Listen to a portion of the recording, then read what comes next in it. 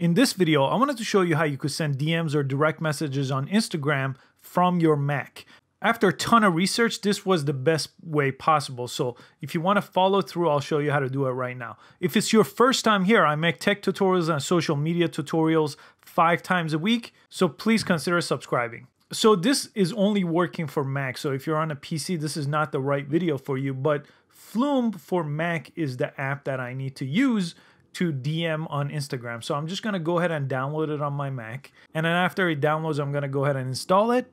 I'm just gonna click the zip file here to install just like any other app. I'll just go ahead and double click that and open the app. And you should see this pop up here when you log into the app. So I'm just gonna go ahead and log into my Instagram account. So this is your username and password for your Instagram account. So make sure you type that in correctly.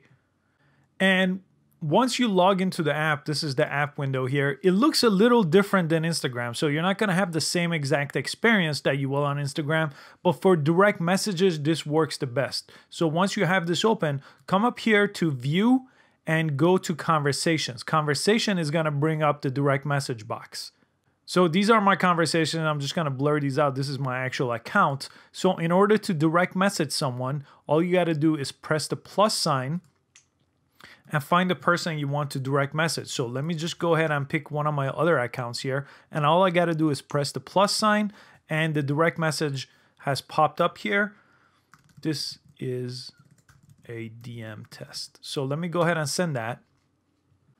Now on my phone, let me just go ahead and launch Instagram so I could see that I got that message so I could reply to it. So you see that I got it.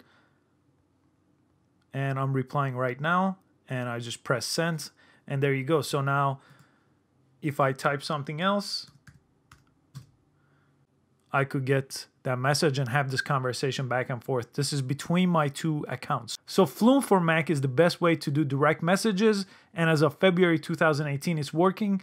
Go ahead and check the description. If for some reason it's not working, I'll go ahead and update this video with a different solution and leave a comment if it works for you so you could let everyone know that it's working.